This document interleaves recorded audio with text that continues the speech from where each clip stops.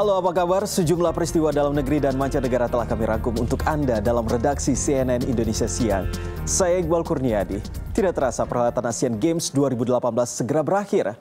Selain menonton pertandingan, jalan-jalan di kawasan stadion utama ini ternyata juga nggak kalah asik. Dengan tiket seharga Rp10.000 per orang saja, kita bisa merasakan serunya bermain di zona KK, Atung, dan Bin Bin yang punya keistimewaan masing-masing. Ruli Kurniawan akan berbagi keseruannya dengan Anda.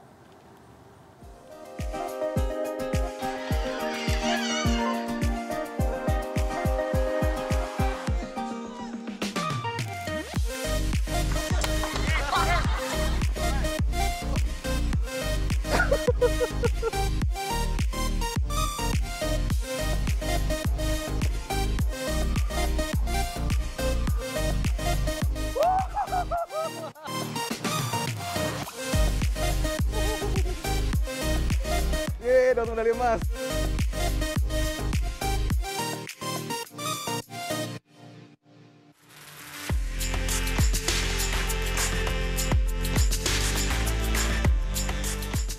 Perhelatan Akbar Olahraga Asia 4 tahunan ini menjadi kenangan bagi seluruh bangsa Indonesia.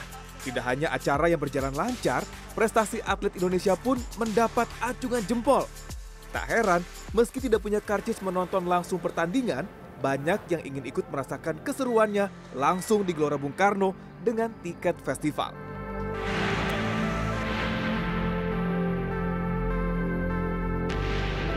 Datang ke Stadion Utama Gelora Bung Karno tidak melulu untuk nonton pertandingan, tetap banyak juga datang ke sini untuk menikmati hiburan-hiburan yang ditampilkan di sini. Karena ada tiga zona di sini sesuai dengan maskot di Asian Games 2018. Nah, kira-kira kayak apa keseruannya? Ini dia. Zona pertama yang saya kunjungi, zona KK. Inilah zona paling luas dan paling lengkap di Gelora Bung Karno. Zona KK identik dengan kebudayaan dan kesenian tradisional Indonesia. Selain barisan toko yang menjual pernak-pernik daerah, di sini kita juga disuguhkan alunan lembut musik kolintang. Di zona KK, kita bisa menjajal serunya mainan tradisional. Enggrang menjadi pilihan saya. Jadi kalau mau berhasil harus dimulai dari kata apa, Pak? Alright.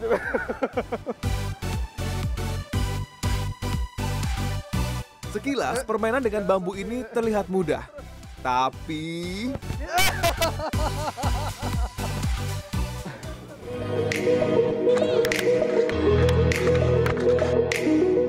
menyerah di Enggrang. Saatnya coba mainan yang lain. Ya, balap bakia. Kanan, kiri, kanan.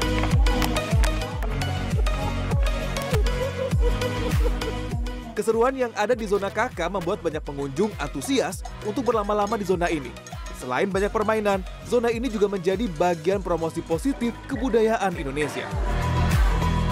Kita kan juga banyak pengunjung yang dari negara lain ya, uh, supaya lebih ya lebih menampilkan Indonesia seperti apa, rapihnya kita, uh, uh, sportivitas kita, uh, ya semuanya sih untuk supaya nggak memalukan Indonesia aja sih sebenarnya sama.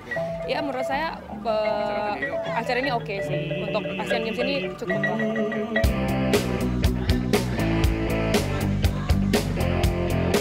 Bermain di Gelora Bung Karno belum selesai.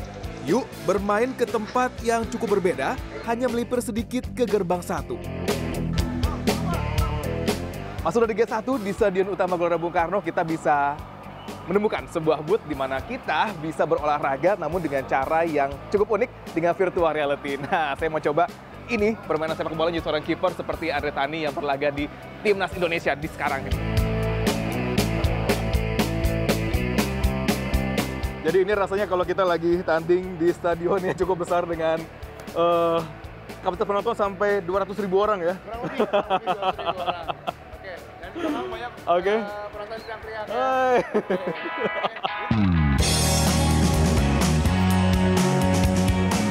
Sekarang saya mencoba VR Games dari cabang olahraga yang menyumbangkan dua medali emas di Asian Games kali ini, badminton. Ternyata lebih susah daripada yang saya pikirin. Bahkan tadi setnya langsung kosong, langsung kalah dua set langsung. saya mau coba. What do you call this? Uh, we call it Special Force VR. Special Force VR. Nah, mungkin ini juga pengalaman menjadi security atau guard atau polisi yang ngamanin uh, bagaimana jalannya Asian Games ini ya.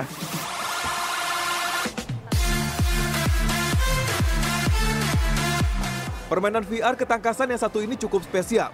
Selain harus menembak, pemain juga akan dikejutkan getaran dari vest bila diserang musuh. Oke. Wah. Seperti layaknya perlombaan, bermain virtual reality di Gelora Bung Karno juga dapat medali. Uniknya, medali dalam bentuk tiga dimensi, di mana wajah kita difoto dan ditampilkan di layar. Yeay, dapat medali emas. Kayak Jojo kemarin ya.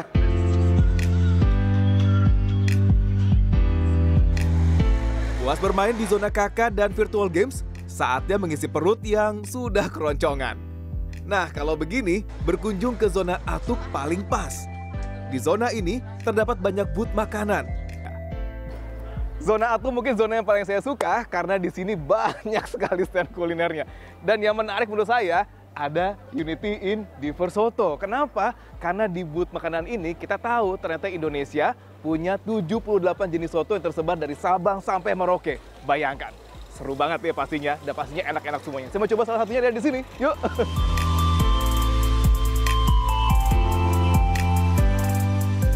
Mulai dari soto Betawi, soto Banjar, hingga soto Lamongan bisa kita coba di sini. Beragam jenis soto ini memiliki kekhasannya masing-masing.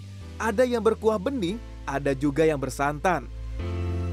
Semangkuk soto hangat, nasi putih, emping dan acar menjadi makan siang saya kali ini. Buat yang datang ke zona Atung, harus coba soto lamongan ayam yang ini. Rasanya otentik banget, original banget, dan yang pastinya harus tambahin koyaknya lagi biar rasa sotonya makin kental dan makin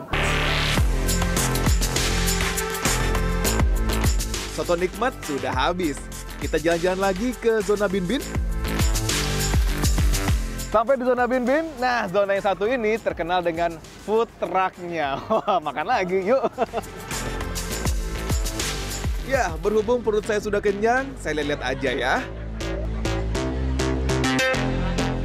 Nah, memang paling tidak ada eh, 10 food truck yang ada di sini dan menjual berbagai macam kuliner, mulai dari kuliner asli Indonesia, ada martabak, ada eh, nasi goreng, mie goreng, ada juga menu dari Timur Tengah seperti ada kebab, juga ada nasi kebuli dan masih banyak lagi. Jadi kalau pengunjung yang datang ke zona Bin Bin ini pasti akan disuguhkan beragam kuliner dengan tampilan yang cukup menarik kayak gini. Ya.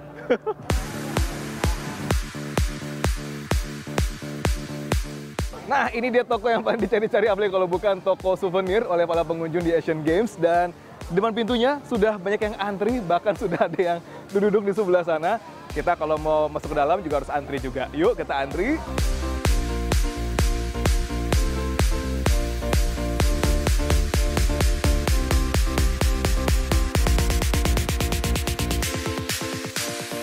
Sudah sampai. Ini adalah barisan yang paling ujung dan tempatnya ada di depan sana.